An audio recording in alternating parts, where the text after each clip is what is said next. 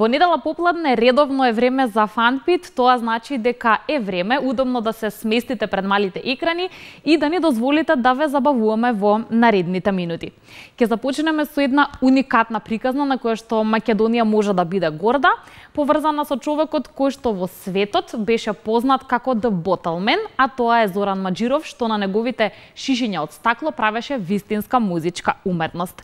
Неговата керка по прераната смрт направи филм кој што му е посветен, а во него и самата се појавува.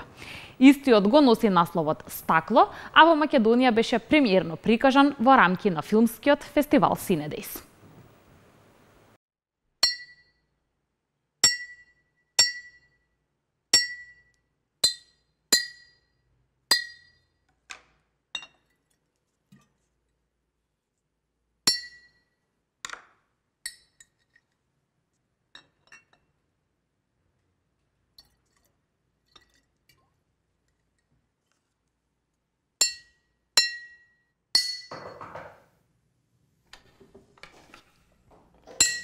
Why I knock. It's not like he'll lock the doors. Here, I brought you some options. I'm not going. Нина, најнапред сакам да ти кажам дека ми е многу драго што баш во овој период кога си тука во Македонија имаме шанса да поразговараме за тоа што го работиш и се разбира за филмот кој што е посветен на твојот татко. Кажи ми дали е тоа единствената причина што и најважно што сега овој период си тука кај. Тоа е најважната причина сега Синедейс, зашто сум тука и сакам да се заблагодарам на тебе Јана што ме контактира и на телевизија 24 за оваа прилика. Кажи ми, еве, кратко по премиерата која што се случи во Македонија на овој филм, какви ти се и тебе првите впечатоци, а се разбира какви бе впечатоците на луѓето што има прилика да го погледнат филмот? Мене премногу ми беше а, драго што публиката толку многу емотивно го прими филмот што не очекував, пошто тоа од, од моја гледана точка е друго, пошто го имам гледано филмот едно милион пати, али во оваа прилика и оваа македонска премиера бев премногу изненадена се разбира со солзи, али бев премногу а, поносна на луѓе во што ми помогна овој филм да стане реалност и а, посебно директорката на Сине Дейс и МКЦ и програмерите. Everyone is worried about you. Let me guess, my mom called you. Only like a million times. Mia, what are you doing with your dad instruments? Nothing, please just leave me alone. You have to stop. No, you don't understand. I have to do this. This will make it better. Значи секој час за тоа што покажа поддршка за целата приказна. Пред да позборуваме за самиот филм, тоа ни е нашата главна тема, сакам малку гледачите ги запознаеме со тоа што си ти, тоа што ти го правиш. Веќе долги години не живееш тука. Да, пет, да, пет. Представи ни барем накратко како се одвива твоето секојдневие и зошто одамна веќе не си во Македонија. Па не сум во Македонија пошто а, избрав да живеам во во Америка, таму студирав, таму ме примија на филмска академија и таму е, е друга едноставно друг, друг е светот, друга индустријава, други се приликите за како да да постигнеш да бидеш а, познат глумец или актер. И тој пат е тежок или лесен? Па ја мислам дека тој пат е тежок и само само храбрите можат да го да го одат според мене. Како ти го доживуваш тој свет на уметноста, заради тоа што а, нели сепак тој ген го имате, не само ти, туку и твојот брат така. А, убаво е кога човек го носи тоа во себе, меѓутоа колку понекогаш знае светот на уметноста да биде суров. Многу знае да биде суров, но мене татко ми пред се ме научи да бидам упорна и тоа беше негово главно мото во животот, упорноста, само не е битно колку и талент да имам и брат ми колку талент да има. Ако не си упорен и ако не работиш, нема нема да ти се исполни тоа што го сакаш, пошто мора после секоја бариера да ја рипаш, да значи да идеш само напред без разлика на сите некој режисер ако ти каже за кастинг не извини ова не е за тебе, не можеш да да престанеш да идеш на аудиции, мораш само упорноста и да си ја следиш твојата интуиција во себе. Ќе позборуваме сега за твојот татко и онаа конекција која што ти со него го имаше. Вела дека кирките секогаш имаат посебно убава конекција со татковците. А, значи тоа е човек кој што имаше специфичен начин на израз, важи за виртуоз нели на стаклото и тој начин на свирење во светот. Луѓето потребуваат различни епитети за него. Како ти накратко би го опишала твојот татко? Јас би го опишала ам, како најмилиот човек што го имам сретнато. Јас го знам него од друга од, од друга перспектива, од друг поглед и го знам како човек што никогаш буквално не, не ми кренал глас или нешто. А знаеме родителите како да бидат. И како најмилиот уникатен човек и знам кога пишуваше музика дома, знам како се понаша, знам како иде таа креативна негова страна, како идеше и би го опишала незаменлив. Со еден збор едноставно незаменлив.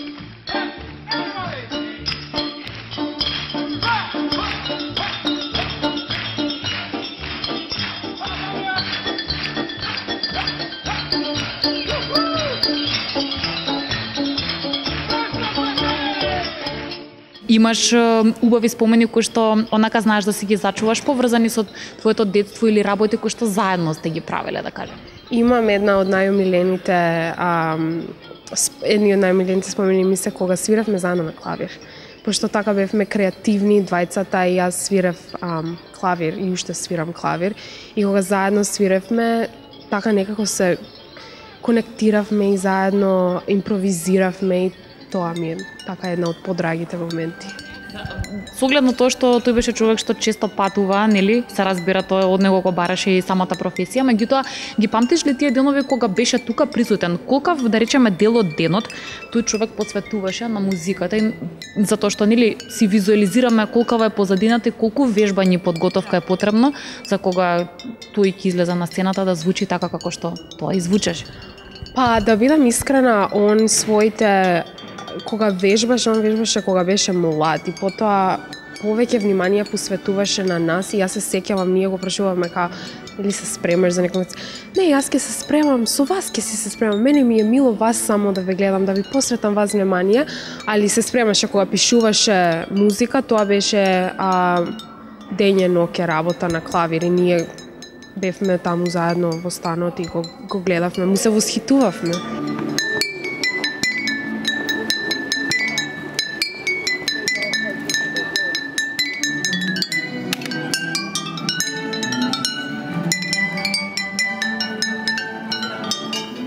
Или ли некој настап кој што ти посебно ќе го памтиш, каде што си била во публиката, нели од оваа страна, и си го запамтила како, ето да кажеме, посебно доживување, поразлично и поубаво од сите останати негови настапи? Има, дефинитивно. Значи, јас го памнам неговиот прв чест фестивал во Скопје 2001 година и јас бев тогаш 5 години. Не знам како, некако, значи се уште ми го памнам, тоа ми се едни од, од првите спомени така фамилиарни и знам се сеќавам го гледав како настапува и тогаш а, настапуваше на Шишиња прв пат во Македонија или така нешто. Исто така а, скоро настапуваше на Оффест. Тоа ми е ми е една од најомилените концерти, да.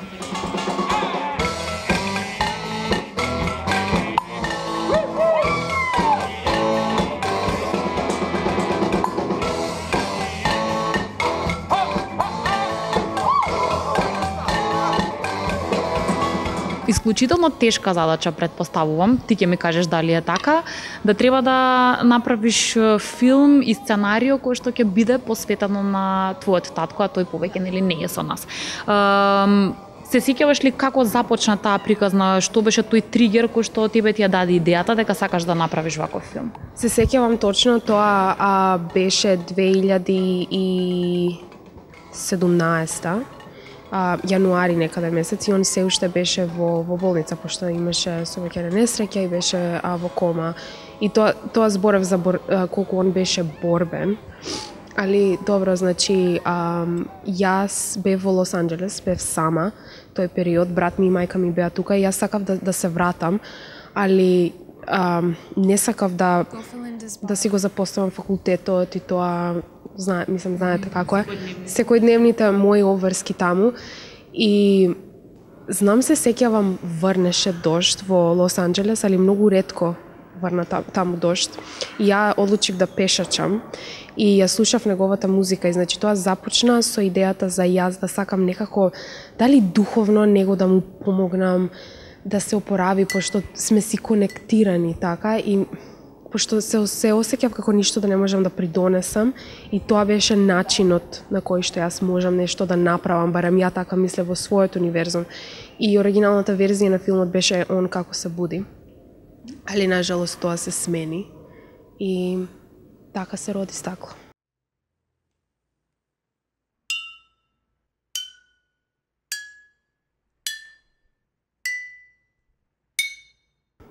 Така стакло, понатаму нели таа приказна се разви, односно доразви за да дојде до овој финален производ.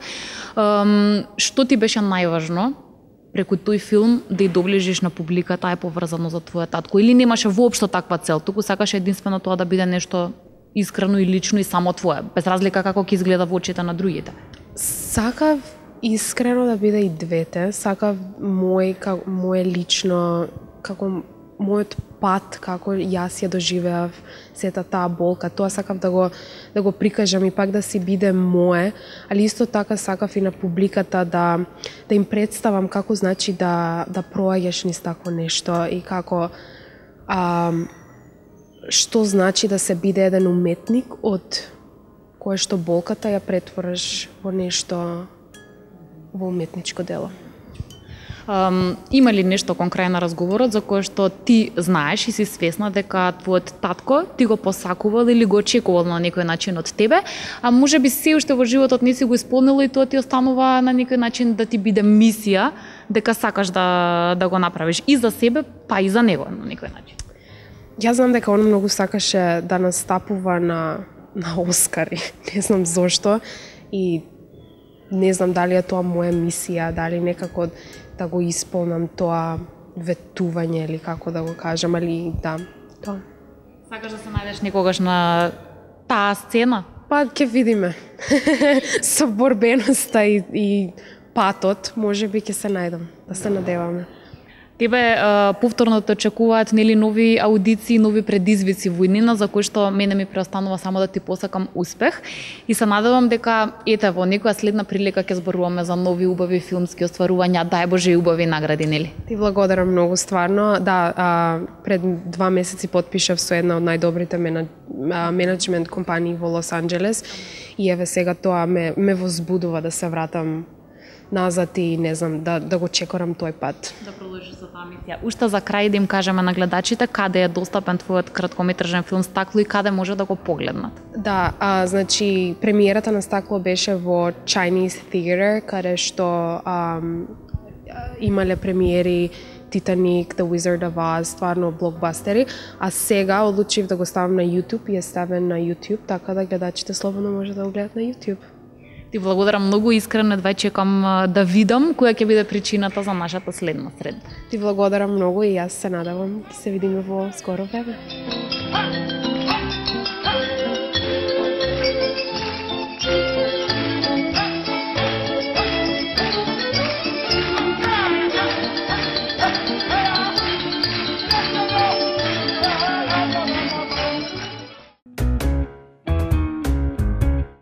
Да, ова е една емотивна приказна, но и како важна и уникатна македонска музичка тема, која што вреди да биде на еден ваков начин зачувана и затоа се надевам дека ќе го погледнете краткометражниот филм насловен Стакло. А сега ви предложуваме или ви посочуваме еден начин на забава кој што истовремено придонесува и за подобрување на дел од нашите вештини, меѓу кои што да речеме добрата концентрација, меморија или подобрување на нашата логика. Во светот, местењето на Рубикова коцка за некого е можеби само забава, меѓутоа има и такви кои што професионално се посветуваат во подобрување на вештините кога е во прашање местењето на истата. Светскиот рекорд во местење Рубикова коцка 3 на 3 изнесува само 16 секунди, а во Македонија е нешто подолг од две минути. Yeah, let's go. I'm unstoppable, do the impossible. I'm irresponsible, yet I'm phenomenal. I got an arsenal, I'm dropping bombs, you know. No, I'm not want my stopping, no. Conquer the obstacle, To the top, here I go, think I'm chosen To be the king of rock, think the people have spoken. I can hear the tick tock of the clock, I'm in motion. So now I'm gonna pop, causing all this commotion. Yeah Ова што го држам во моите раце е 3 на 3 Рубикова коцка и баш ќе ми биде драго во оваа прилика во Фанпит да зборувам со човекот кој што во Македонија моментално го има рекордот за незино најбрзо местење и тоа со затворени очи. Драго ми е што имам оваа тема како што реков и ќе му посакам добри ден на Александар Арсовски во Фанпит. Здраво и добро ми дојде, баш ми е драго што си ми гост. Здраво, добро ме најдов. Ем, за мене реков интересна тема и може би невообичаена. Еве кажи ми ти, вообичаено ли е за луѓе во кај нас во Македонија, кога ќе им кажеш дека ти интересира оваа работа? Па не би рекол дека е вообичаено, значи секој што прв пат ме гледа, онака ќе рече, еј, колку брзо намести право, чудно име, али а, значи се повеќе и повеќе има интерес за местење, посебно со надпреварите и така натаму. Значи веќе има а, деца, да речам млади луѓе кои сериозно се занимаваат со ова. Yeah. Gotta commit to the climb. You know we're back with the Guinness, setting records every minute, every track. In addiction to the fact that we're winning, still we lack something's missing. Need a track that is hitting, making racks, making don't waste time, no, I make time. All these people wanna hate, fine. I'ma make mine while you sitting there complaining. I'll be training while you sitting there. Првично, значи, и јас сум геймер, значи ја играм видеоигри, како и повеќето млади, нели?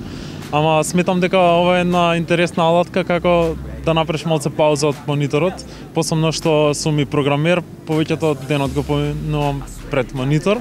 Значи ова е супер супер алатка да да се тргнеш од монитор, да се опуштиш, да се релаксираш, да да пробаш малце да го- да активираш мозокот на друг начин за логично размислување, за подобрување да речеме и на рефлексии, на фокус и така натаму. Да, и сега освен геймер си и кјубер, така така таков ви е изразот за вас кјубери.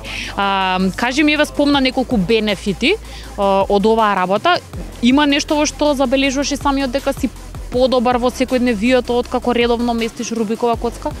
Па не би рекол во секојдневието, ама за конкретно сметам дека за за помлади деца е им овие бенефити што ги спомнав се поизразени дека уште од мали нозе нели а, пробуваат да размислат логички да решат некој пазл што не им е а, не им е јасен, значи наоѓаат свои креативни решенија како да стигнат онака до целта, тоа е местењето на целата коцка. бидејќи посериозно со оваа работа се бавиш последните неколку години. А, памтиш како изгледаше првиот пат кога зема Рубикова коцка во раце? А, да, во средно беше многу лоша котката. А, и да, беше многу лоша коцка, ефтина и пробав да ја наместам, не успеав, за жал. А, ама нели интернетот од Studio rescue, а, имаме многу туторијали, а, инструкции како како да наместиш и а, сметам дека дури секој може, не е дека е ова нешто кузне што, значи секој што посакува може да одвои неколку дена со неколку туторијали од интернет, да, се се учи како да се намести, но не на ова ниво што ние а, го местиме нели тука Е сега тој ми е поинтересниот дел, значи како вие ја стекнувате таа рутина и таа моќ нели за брзо местење? Значи има и дел од а, во тоа прстите, значи механичка работа. Ја конкретно кога местам не размислам многу кој прст ќе го мрднам, туку размислам на тоа што сакам да направам и нели механичкото само си работи. А иначе гол, голем дел е техниката и како да наместиш во што помалце чекори. Значи што повеќе вежбаш, што повеќе различни техники учиш, тоа помалку чекори ти требаат. Не правиш грешки, не правиш екстра чекори што не ти се потребни и така натаму. That's right. I swear to God that I could drop you, bro. Yeah. I got a shot and I ain't stopping, no. That's how I know that I'm unstoppable.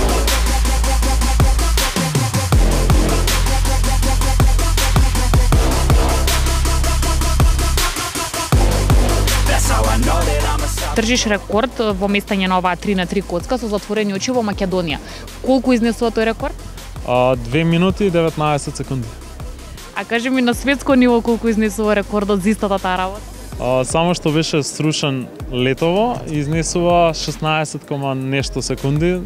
А, тоа е некое нереално време што ни, мене не ми е јасно. А, човекот е професионален, значи тоа се бави у моментов фул тайм, значи само тоа го работи, вежба по цел ден. Сега сакам да ми објасниш малку околу самиот начин на надпреварување, односно како оди процесот, како го организираш ти времето кога нели практично треба да се бориш со него, тоест да да бидеш што е можно побрз. Какви се правилата на надпревар? А, значи првично секој надпреварувач ја остава коцката а, на главната маса а, за регистрација и а, други луѓе му размешуваат коцката и тоа се оди компјутерски, односно гледаат од компјутер како треба да се размеши и за сите исто размешана коцката за да биде фер, нели? Да нема некој помалце по повеќе размешана коцка. А, ти ја даваат коцката а, затворена а, под а, под кутија и твоја задача е нели а, кога ќе отвориш кутијата имаш 15 секунди да разгледаш, да видиш како ќе почнеш со решавање. А, и на на тајмер ги ставаш рацете што кога ќе ги трнеш автоматски на тајмерот, мислиш, ги враќаш рацете на тајмерот и завршува тука го има официјалното време. Е сега за без гледање малце е различна а, техниката, бидејќи немаш време за за инспекција, значи немаш ги немаш тие 15 секунди. У моментот кога ќе го почнеш тајмерот, ја откриваш коцката и во истото време ти а, с, а, имаш а, во истото време и меморизацијата и решавањето на коцката. И сега лично ти на што трошиш повеќе време на меморизација или на решавање? На меморизација тоа ми е околу минута и нешто, минута и пол. А, тек на крај почнувам околу 40 на секунди да решам. Значи, од кога ќе меморизираш коцката, идејата е да се меморизира почетната состава.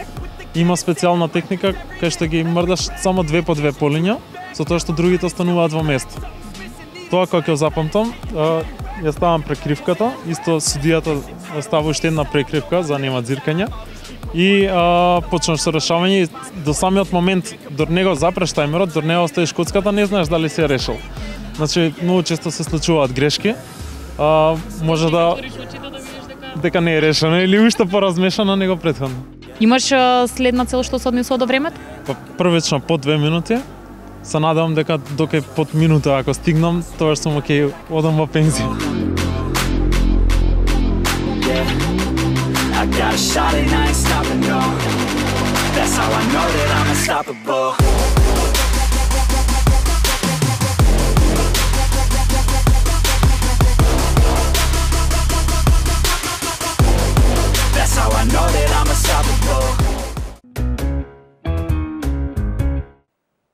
Освен местењето на Рубикова коцка, и колекционерството знае да биде и како интересна занимација за голем дел од луѓето низ светот. Различни теми може да не предизвикаат да посакаме да имаме голема колекција од одредено нешто, а ова е човекот кој што важи можеби за еден од најголемите фанови на македонската фудбалска репрезентација и на дел од нашите домашни фудбалски тимови. Кај него има голем број на влезници и приказни поврзани со истите, па затоа овој пат одиме кај Синиша Павлевски.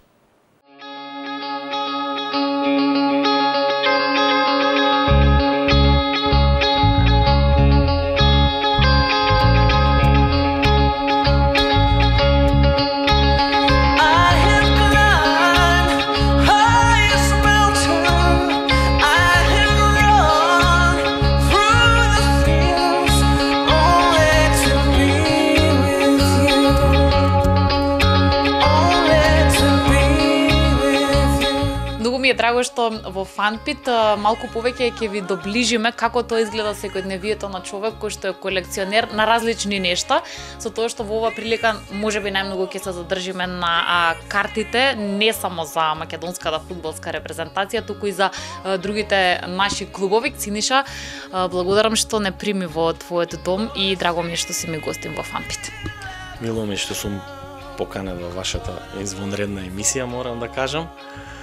А, што да кажам, колекционер сум, филателист, но во последно време се повеќе време одвојувам за мојата една скриена жилба, тоа е колекционерството на фудбалски карти.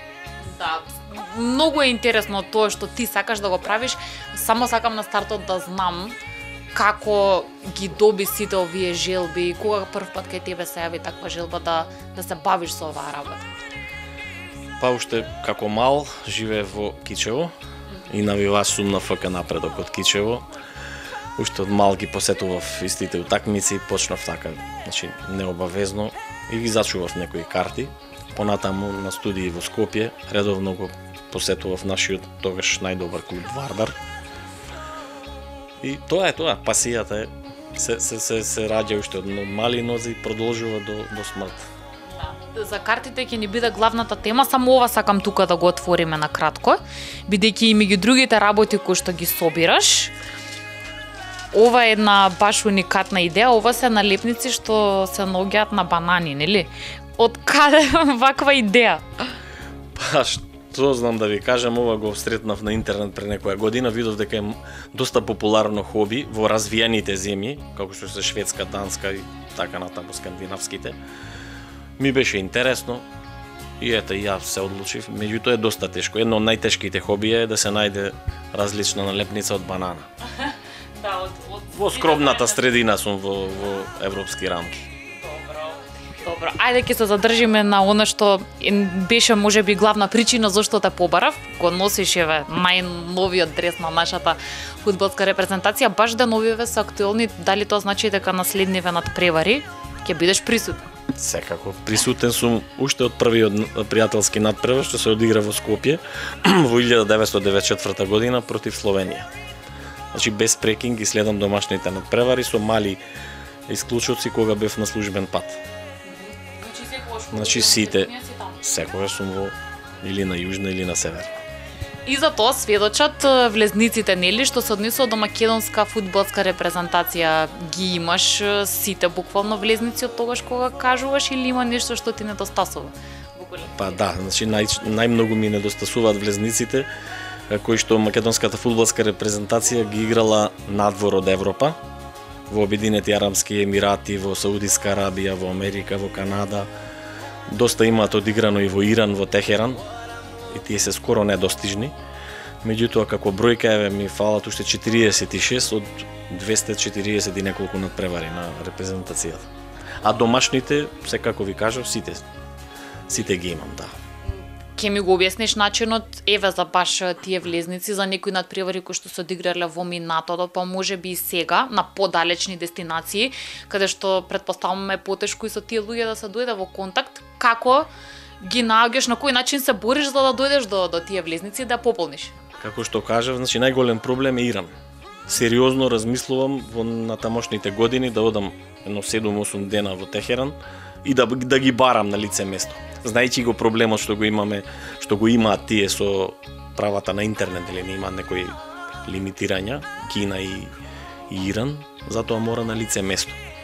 И како човек оди таму и мислам имаш идеја тоа како ќе изгледа? Па скоро и да имам. Би се обратил во некое колекционерско друштво каде што има и секако колекционери на фудбалски карти и за добра за добри пари би ги нашле. Ме интересира и тука кај нас луѓето како се однесуваат, да речеме, кога еве ќе им кажеш дека поради работата со која што се занимаваш, може да ти помогнат. Да речеме има некој влезница што тебе ти е потребна, лесно е човек да ги убеди, како реагираат кога ќе им кажеш. Може би некој да речеме, еве јас и мене ми се случувало во ташна ќе имам некоја влезница, мене лично ништо не ми значи во тој момент, а може би тебе ти е многу важно. А некои пријатели, на пример, имам од поштата од Битола, со секое јавување знаат, еве го овој со со, со влезниците ќе ни бара повторно, на пример од Битола ми фала две, од Пелистер со Струмица една ми фали, значи има секаде од Кратово, од Силекс ми фалат влезници, значи се трудам преку луѓе најчесто, преку некои исто со со фејсбукот, преку некои групи. Меѓутоа тешко е.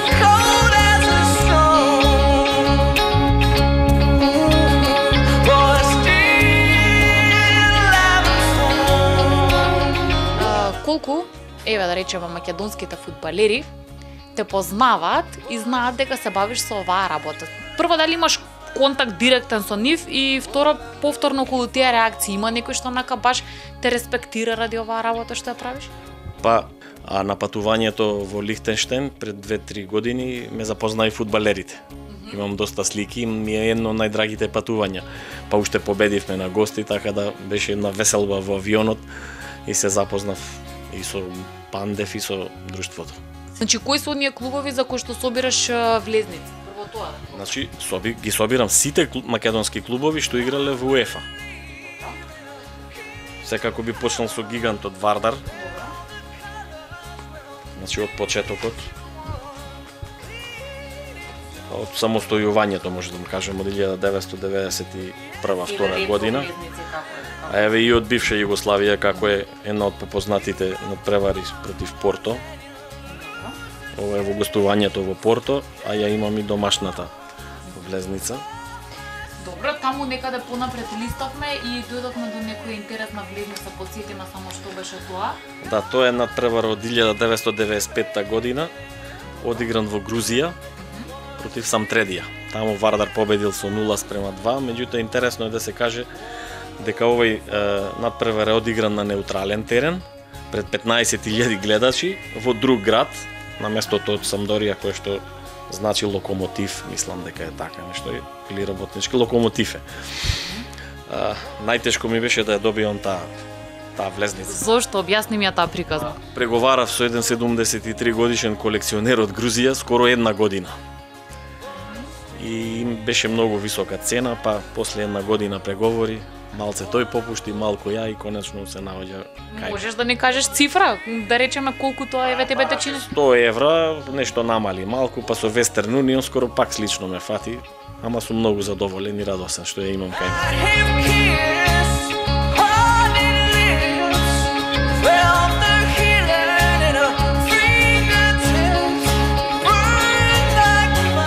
Шкендија од Тетово. Та има доста европски надпревари. Исто така ги пратам и другите клубови што играат, значи по можност, најчесто во Скопје што се играат надпреварите, меѓутоа сум одел и во Струмица. Бидејќи само одредени стадиони ги исполнуваат правата да играат во, во европските купови. Така да ја пратам и Шкендија од Тетово со задоволство. И од Шкендија ми фали само една влезница од гостувањето во Порт Даун, тешко е од некои луѓе дознав таму се јавив и во клубот ми вика дека било без влезница надпревар, меѓутоа не се предавам. Нешто мора да излезе од тој надпревар, дали некој прес, нешто фото, некое што го имаат новинарите. Се надевам дека ќе излезе и со тоа би завршил Шкендија. Има ли не, во моментов некоја влезница од сите овие сега, бидејќи стварно се многу и клубови и репрезентација, за кое што ти е многу важно по секоја цена да ја добиеш? Има. Првата влезница во Словенија од 1993 против Словенија.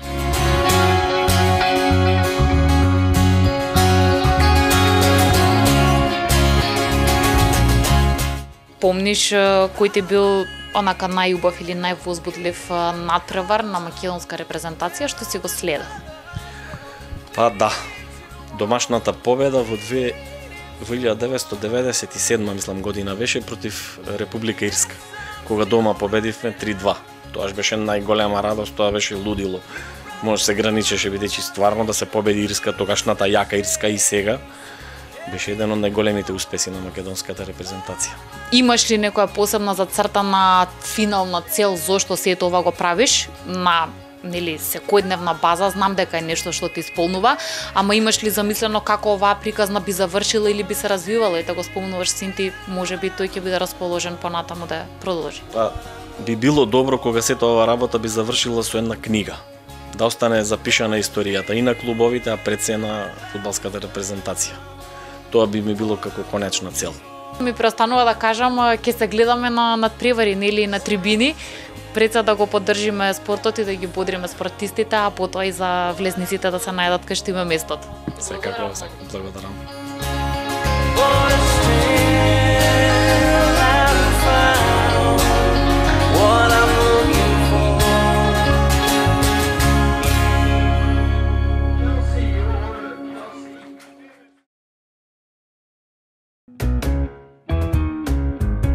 Ни беше доста интересно да бидеме гости на Синиша заради тоа што тој има неколку видови на колекции кои што ќе имаме и следна прилика за да ви ги представиме.